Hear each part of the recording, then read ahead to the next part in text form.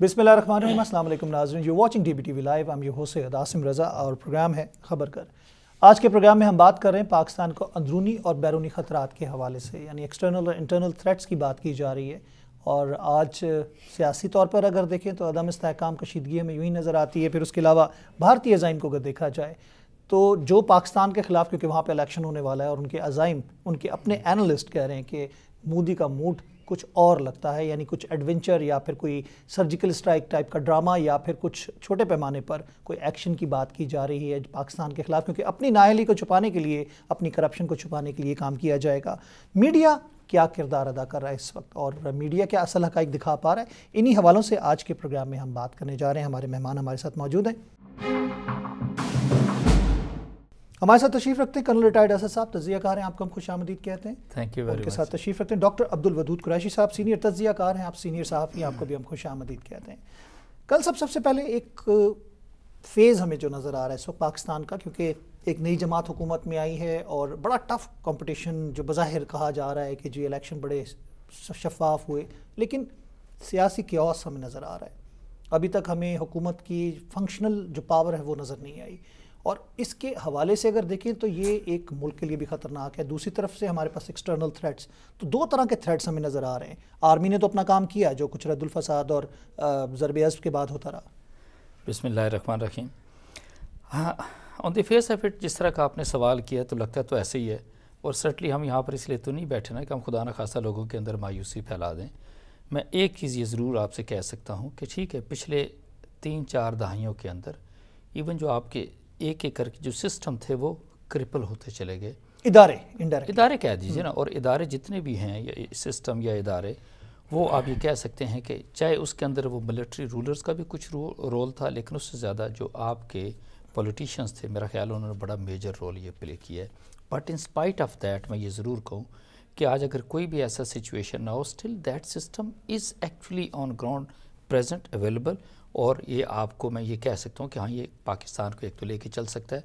लिहाजा ये अगर कोई कहता है कि नहीं हमें वेरी एग्जिस्टेंस को या कोई इस तरह की कोई प्रॉब्लम है हमें इस तरह का है एक चीज़ तो ये नहीं है। लेकिन ये मैं ज़रूर कहूँगा कि पिछले चार साढ़े चार महीने से जो आप बल्कि आलमोस्ट आप पाँच महीने हो रहे हैं पीटीआई को गवर्नमेंट के अंदर तो ये मैं ज़रूर कहूँगा कि जिस तरह के लोगों की high hopes very high expectations इस हुकूमत से थी वो ऐसा लगता है कि विद एवरी पासिंग डे जैसे वो डिमिनिश होती जा रही हैं।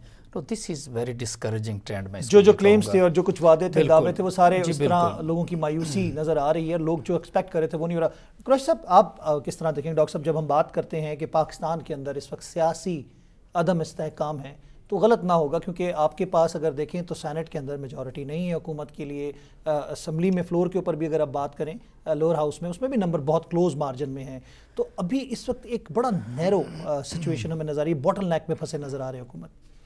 बहुत शुक्रिया। आसम रजा साहब, बुनियादी तौर पर दो सियासी जमातों ने मुल्क में एक तासर पैदा किया हुआ था कि उनके बगैर और कोई सियासी जमात हो नहीं सकती। उन ख़ानदानों के अलावा कोई हुक्मरान हो नहीं सकता। तो इस जो उनने एक तासर पैदा किया हुआ था, उस तासर में सारी कौम मुबतला थी। नई पार्टी जब सामने आई तो उस पार्टी को यकीन लोग नहीं कर रहे थे इकतदार में आए। इवन इमरान खान को यकीन नहीं था को इकतदार में आएँगे। जब इकतदार उनके करीब आते हुए कुछ लोगों ने देखा तो रेलू कट्टे जो इमरान खान कहते हैं वो उनके पास जमा हो गए। अब वो रेलू कट्टू कट्टे ऐसे हैं जो परवेज़ मुशर्रफ के भी तर्जमान हैं जो नवाज़ शरीफ के भी तर्जमान हैं जो you know peoples party you name it.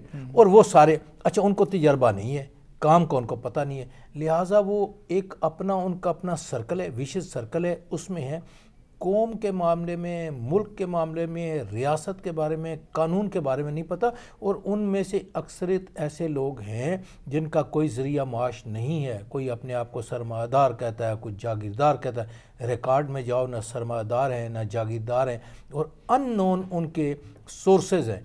ऐसे लोगों जब इमरान खान को अचानक मिले हैं और उसको इमरान खान को तजर्बा नहीं है कि ये लोग किस बात में महारत रखते हैं।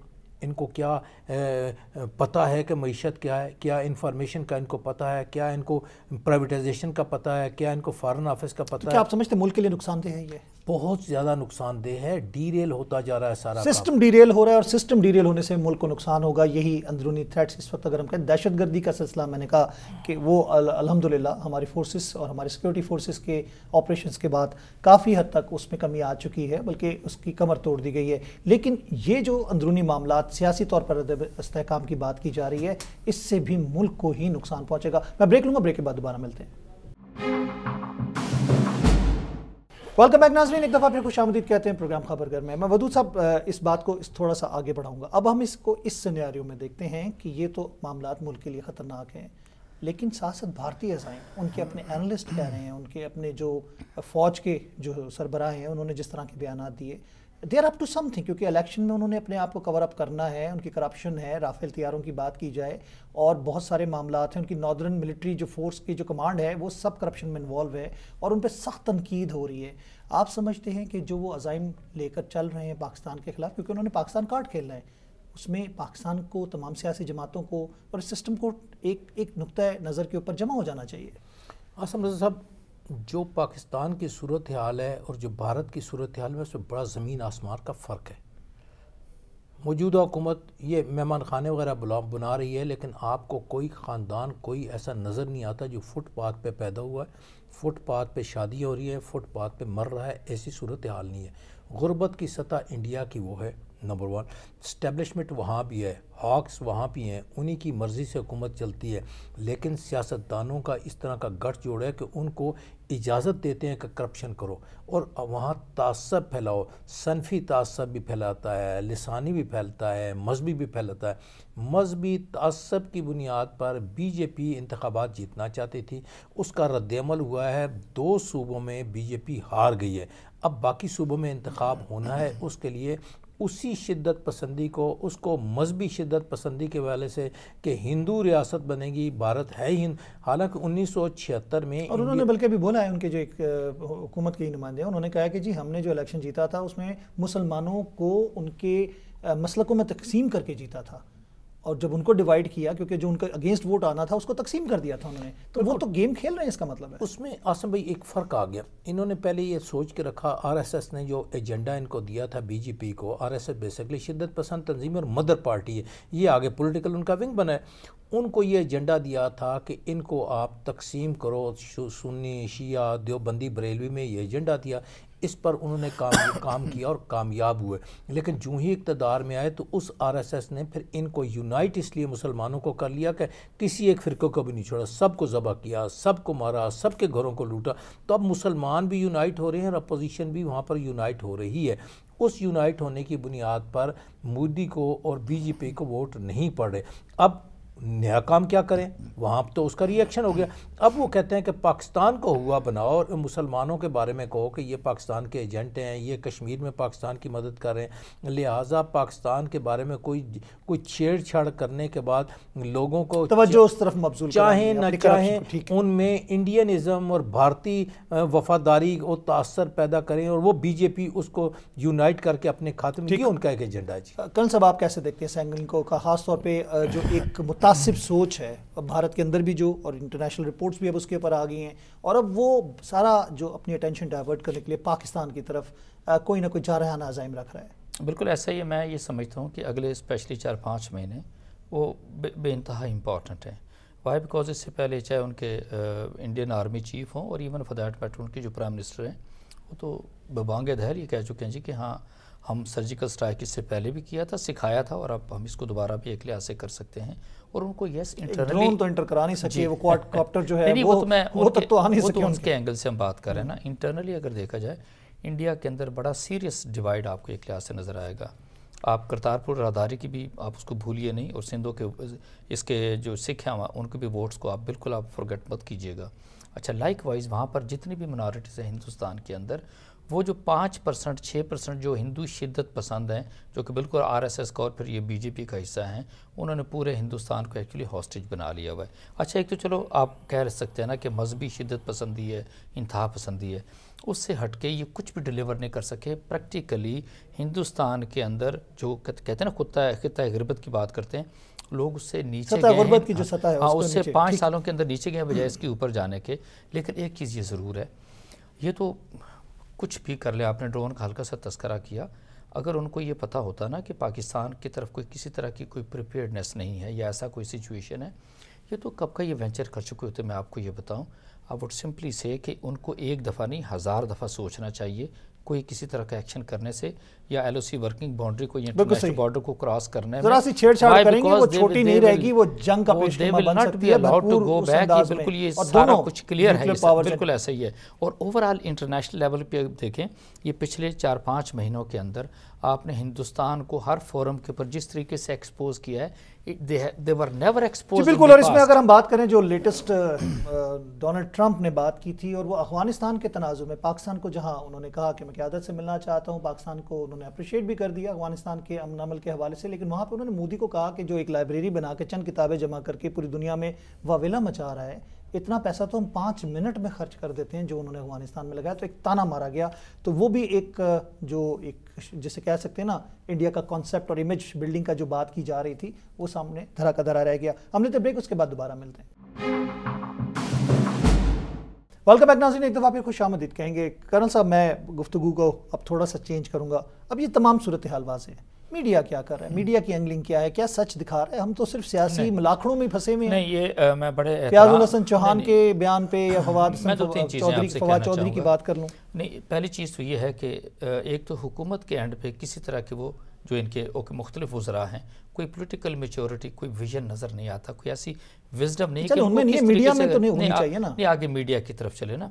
मीडिया में ये कह सकता हूँ कि maybe sixty seventy percent आपके डिफरेंट चैनल्स के जो एंकर्स हैं आप जब उनके प्रोग्रामों का जो बाइस देखते हैं कंटेंट देखते हैं ठीक है तो आप एट टाइम्स मुझे ऐसा लगता है कि it is not basically Pakistan जिनकी नहीं है वो तो जेल मैं नहीं मैं एक्चुअली ऐसा लगता है कि मैं इंडियन चैनल में देख रहा हूँ। मैं हकीकत बताऊँ आपसे ये है नैरेटिव और ये नैरेटिव ऐसा नहीं कि उन एंकर्स का है बेसिकली और ये वो एंकर्स और मीडिया मालिकान का बेसिकली आप ये नेक्सेस है। ये नेक्सेस वो है जो आपकी मीडिया इंडस्ट्री को खा गया है स्पेशली वो जो लोअर एच लॉन्स आते हैं जिस तरीके से जिस तरीके से इन्होंने ये सारे का सारा तबाह बर्बाद किया इन तमाम छोटे छोटे वर्कर्स को जो दस दस पंद्रह पंद्रह बीस बीस हज़ार तनख्वाह ले रहे थे और उन एंकर्स को देखें जो इस वक्त भी बैठे हुए हैं साठ सत्तर अस्सी नब्बे लाख रुपये तनख्वाह ले रहे हैं। आप सिर्फ़ इतना देखें कि अगर पच्चीस हज़ार तनख्वाह एक वर्कर को देते हैं इमेजन करें वो कहाँ जाके बैठती है। मकसद सिर्फ़ ये कहने का है कि इस मीडिया के अंदर बहुत और एक और चीज़ देखें ये सारे लोग शाम को बिठाते हैं।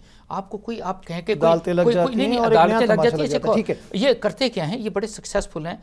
दोनों सारी पोलिटिकल पार्टीज़ को आपस में लड़ाने में यही इनका एजेंडा बेसिकली इससे हट के तो कोई चीज़ पाकिस्तान की बेहतरी के लिए कोई चीज़ करने का मकसद नहीं है। मीडिया का इस वक्त मकसद कुछ और है। आप क्या समझते हैं डॉक्टर साहब? असम साहब बुनियादी तौर पर हुकूमत ये भी वही कर रही है जो पिछली हुकूमत कर रही थी।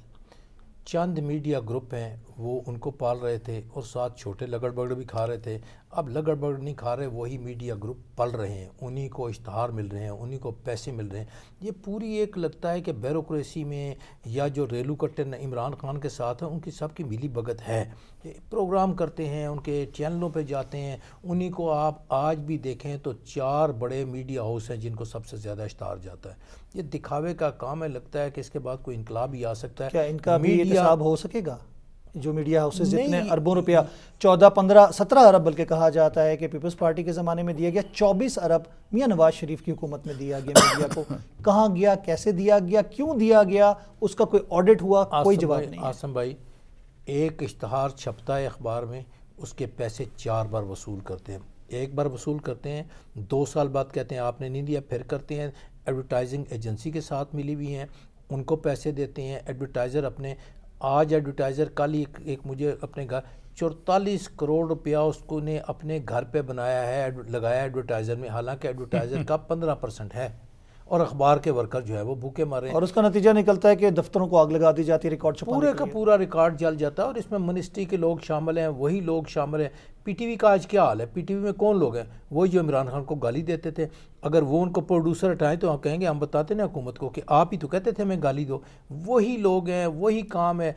बदला है तो ये बदला है कि महँगाई बदल गई है रुपए की कीमत कदर नीची का। वो अमेरिकन और यूरोपी जो एजेंडा है हम पर मुसलत किया जा रहा है। होप थी अल्लाह करे वो कामयाब हो लेकिन होती नज़र नहीं आ रही। मैं आपसे कमेंट्स लूँगा लास्ट कमेंट्स मेरे ख्याल में बड़ी खूबसूरत बात कही है और बिल्कुल मैं समझता हूँ कि मीशत के तौर पे ये तो मैं कहता हूँ कि थोड़ा बहुत आपने ओके अपने फाइनेंस को कंट्रोल कर लिया लेकिन अब मेरा ख्याल है इमरान खान को ज़्यादा तवज्जो देने की इंटरनल सिचुएशन के ऊपर महँगाई के ऊपर और बिल्कुल ब्यूरोक्रेसी पुलिस को काबू करने की है। जब तक ये नहीं करेंगे ये मैं समझता हूँ कि बड़ा मुश्किल है कि चीज़ों को कंट्रोल कर सके। आखिरी बात मैं कहना चाहूँगा उस्मान बुजदार को आपने लगाया चीफ मिनिस्टर पंजाब मैं हालाँकि आई बिन एडवोकेटिंग हिम मुझे नहीं मैं सुनिए तो सही ना। ये ये पाकिस्तान मिलिट्री अकेडमी नहीं है कि आपने दो साल किसी को ट्रेनिंग देनी है एंड देन वो भी डिलीवर करना thank you very much Karan साहब बहुत बहुत शुक्रिया डॉक्टर साहब आपका बहुत बहुत शुक्रिया। नाजिन प्रोग्राम का वक्त खत्म हुआ जाता है लेकिन वो एक मुनी नियाजी साहब का शेर वही आ जाता है जहन में बार बार कुछ शायर दे लोग भी डाटे सन कुछ सानू मरंदा शौक भी सी। वही बात है कि जब तक हम अपने अपने आप को ठीक नहीं करेंगे दूसरों पे हम सिर्फ़ बयान देते रहेंगे चोर डाकू लुटेरे या फिर फिंगर पॉइंटिंग होती रहेगी। अपने गिरेबान में जब तक हम झाँक के अपने से इब्तदा नहीं करेंगे, मेरे ख्याल से मामला जूँ तो रहेंगे। प्रोग्राम का वक्त ख़त्म हुआ चाहता है? मैं चाहूँगा इजाज़त, अल्लाह के पान।